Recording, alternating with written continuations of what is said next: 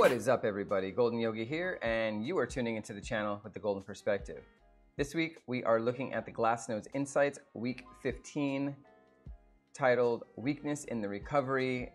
Let's get into it. Before that, I want to kindly invite you to subscribe down below if you have not already. I know it's been a while. I appreciate everybody who has maintained their uh, stewardship in this channel and uh, also, uh, leave a like, a comment. My one request is that you please be civil in your discourse.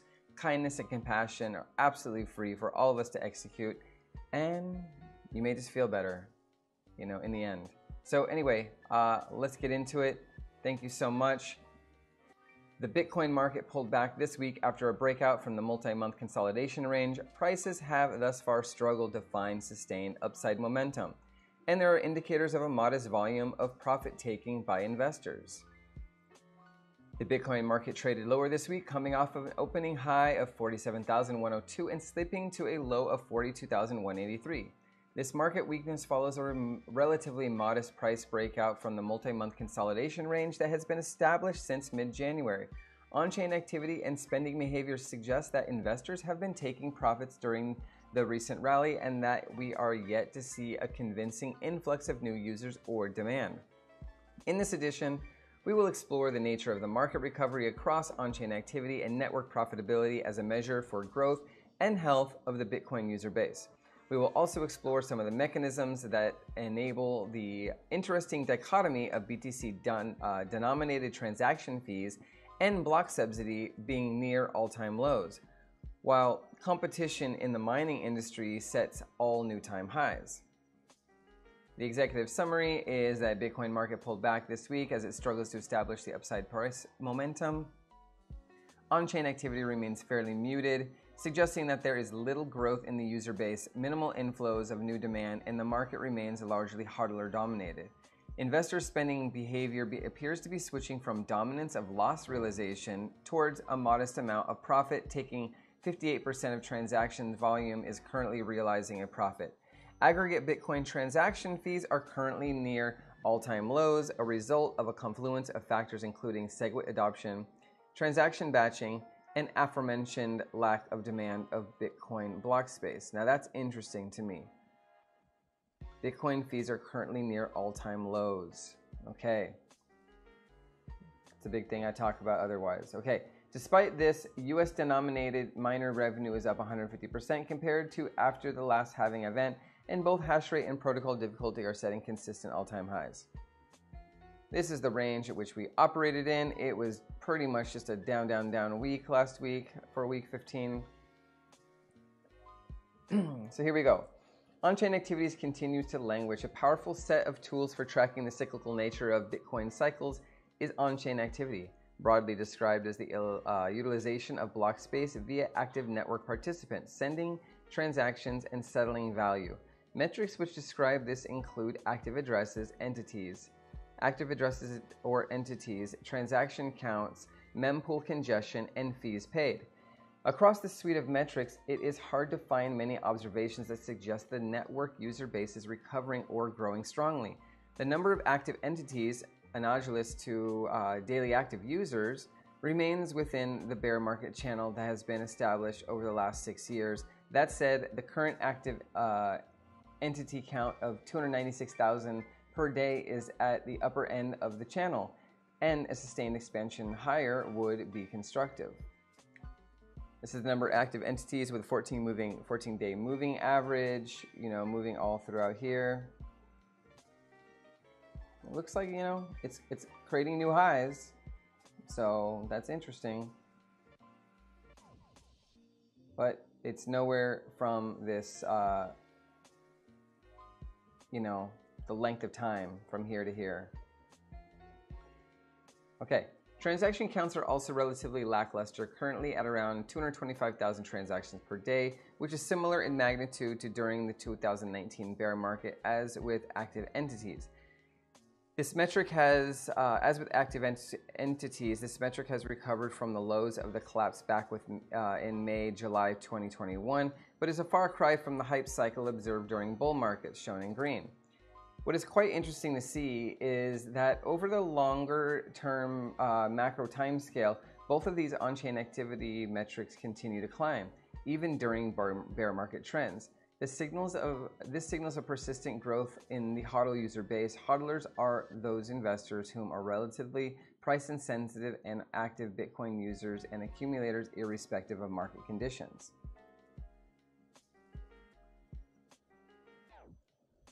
As a result of this relatively low demand for Bitcoin block space is that there is little network congestion and thus low aggregate and transaction fees paid. Total transaction fees paid to the Bitcoin miners has been languishing, nearing all-time lows since mid uh, since May, supporting the above observations that the recovery in on-chain activity is lackluster at best.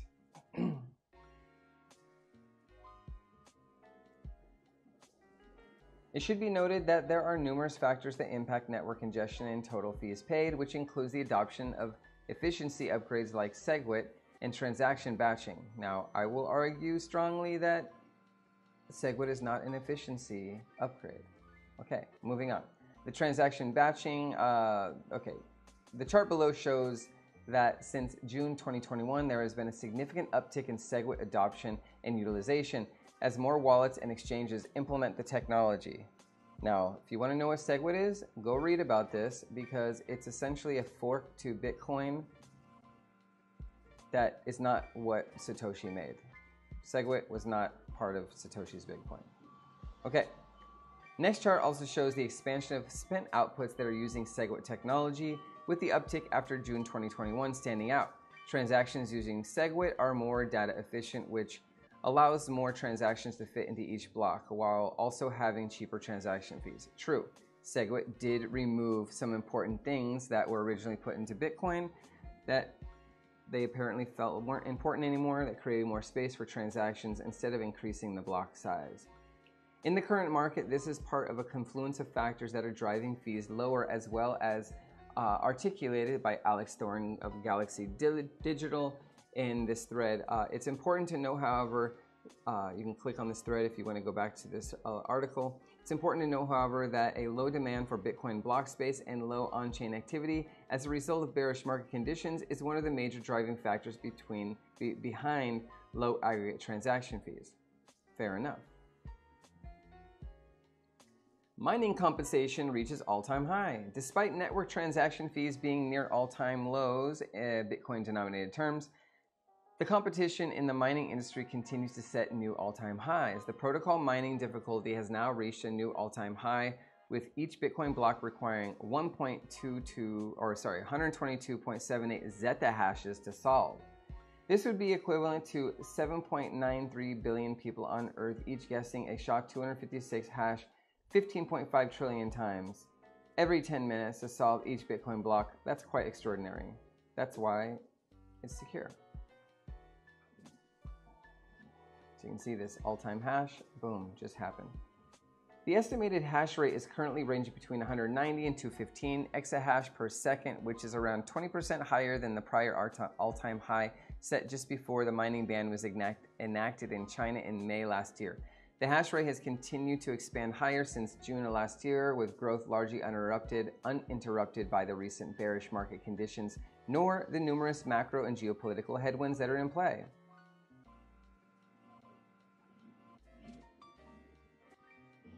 Competition in the mining industry is notoriously fierce as miners seek to arbitrage the energy to BTC price ratio by finding the cheapest available sources of power and capital funding.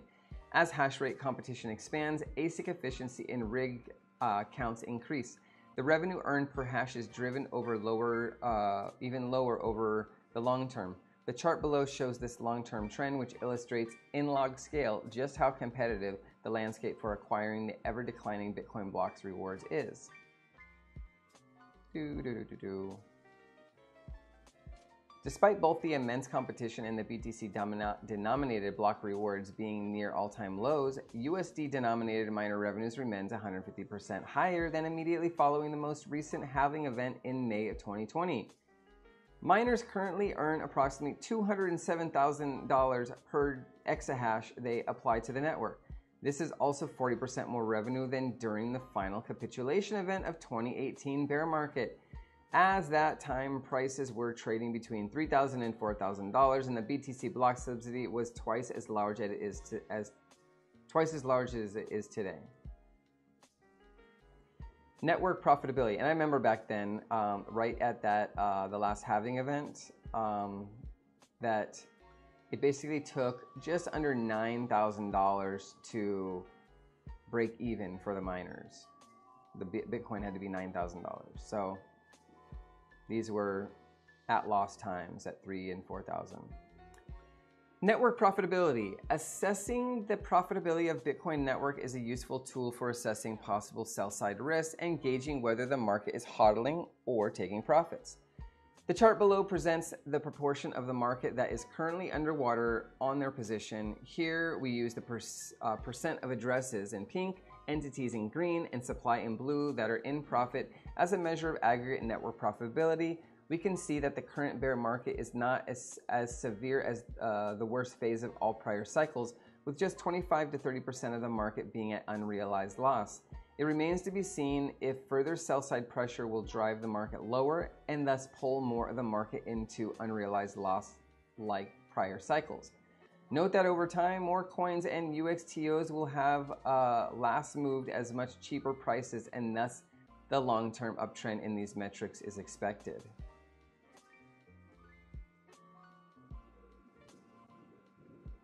Interesting. The 2015 was pretty uh, drastic difference between these lines. But they're getting tighter and tighter along the way. Bitcoin long-term holders, LTHs, currently hold 13.66 of the supply that is at unrealized uh, loss, which is a sum approximately equal to the magnitude of the amount of sell side they applied in the 2021 bull market. Long-term holder coins are at least likely to be spent and sold on statistical basis, and it can be seen in 2018 and March of 2020 that they have held through much deeper losses in the past. The proportion of long-term holder coins held at a loss reached over 35% of supply in the depths of previous bear cycles, which is 2.5 more relative coin volume than we have current in the current market.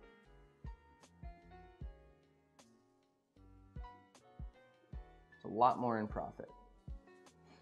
Short-term holders, STHs, own far fewer coins compared to long-term holders, 18.74 of the supply. Uh, however, this cohort has seen a marked jump in profitability as of late. As the market rallied out of the consolidation range, new accumulators, short-term holders that acquired coins between 33,000 and 42,000 have returned to an unrealized profit, showing that investors saw value in that price range. This is a positive development compared to the recent market lows on uh, 22 January, where 100% uh, of the short-term coins were at a loss, improving in uh, improving investor profitability, especially in this more price-sensitive short-term uh, holder cohort, tends to lower the profitability probability of panic-driven sell-side pressure. Now, anyone who's been watching the market as of this week uh, you'll know that uh, the market corrected to, you know, 40,000 and maybe some of these, if they didn't take profit, were not anymore. We have, however, seen an uptick, uptick in profit taking and a decline in loss realization during this rally. Daily realized losses have declined from around 20,000 BTC day per day at the lows in January to around 8.3 thousand BTC per day today. Periods of high and sustained loss realization are typical of bear markets, and the market has absorbed more than 8.3 uh, thousand Bitcoin in losses realized per day since late November. That's that low line down here. 20K here, 40K up there. In addition to the coins realized uh, coins realizing losses, the market has seen around 13.3 thousand BTC in profits realized each day since mid-February. Profit realization at this magnitude is not historically extreme, however, appears to be providing sufficient headwinds to prices. Heavier profit realization is typical of bullish conditions where a large influx of new demand is capable of absorbing the supply and pushing the market higher. Down there. And finally, we can see that the dominance of the spent volume profitability has moved towards a profit bias In other words, 58% of the transaction volume is currently realizing profit, which is a change from the bias towards realized losses that was in place since December.